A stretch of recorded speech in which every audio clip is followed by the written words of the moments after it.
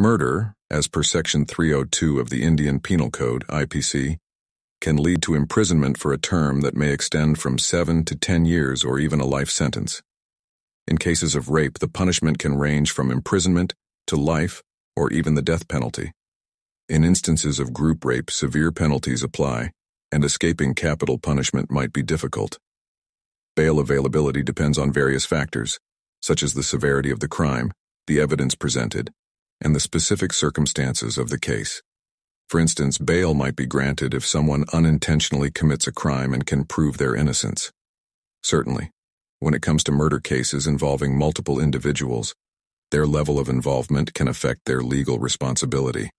If someone has played a role in a murder, they would be considered a participant to the extent of their involvement.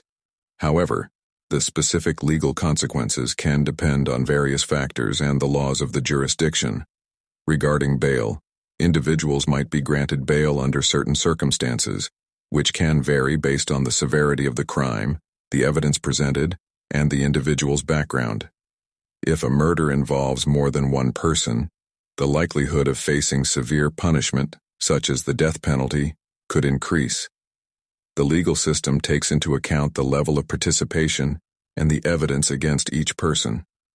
When it comes to defending oneself in court, showing that actions were taken in self-defense can potentially lead to a lesser sentence.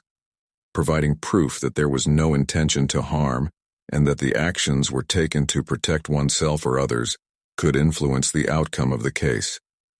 For instance, if someone enters another person's home with a weapon, the person inside the home might have the right to use force to defend themselves.